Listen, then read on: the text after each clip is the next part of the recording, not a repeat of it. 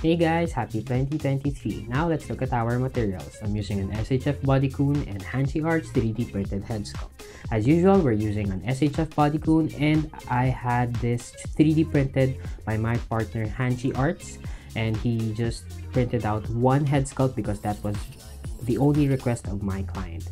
Looking at the proportion of this, this is perfect in terms of ratio and size. First thing to do is spray this with a primer gray base. Now looking at the head sculpt with the primer gray base, now we can see the details more clearly. Now um, next step is to spray this with a flat flesh of Tamiya spray paint so that we can get the flesh colored skin tone and now I'm gonna adjust the skin tone to a lighter one to match the body and um, start coloring in the hair black and the eyes white the base of the eyes white and the mouth uh, I mean the teeth white something like this. I'm doing fast forward because this is just a very straightforward and easy head sculpt to paint. Now up to the details jumping straight into the body now we have to do some clothing. So I made black pants. I use this template over here and black spandex cotton fabric. Cut two pieces and sew them together. And now I have this. And for the top I'm using a this template and white spandex cotton fabric cut two pieces and sew them together and make them short sleeves. And also I made from the same same template a gray um, three-piece um, fabric for the jacket. Fast forward, I've finished up my edges and the measurements on this clothing to the exact body and I've added a little bit more details like the V neckline and the final lengths onto this body.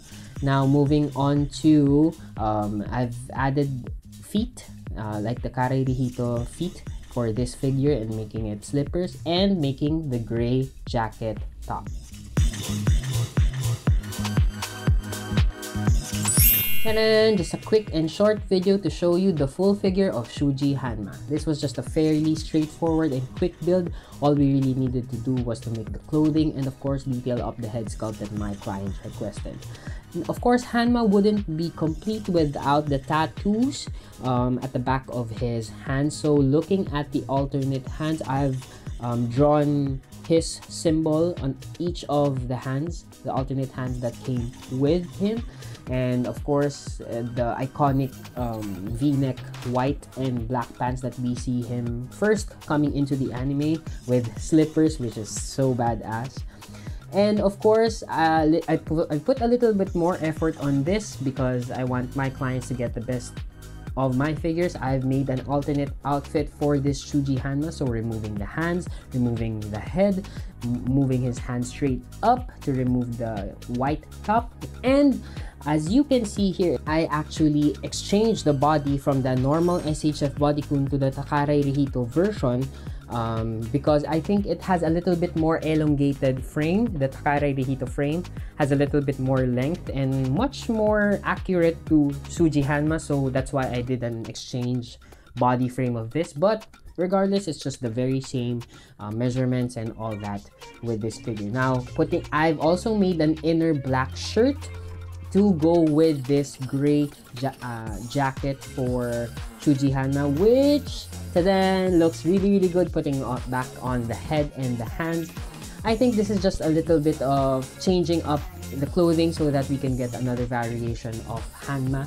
Now this is the look when the fight between Toman and Valhalla went on. So I think that was towards the last episodes of season 1. I just drew on the Valhalla lo logo at the back, added a little bit of pocket and red strap at the left shoulder. So what are we waiting for? Jump straight to action poses.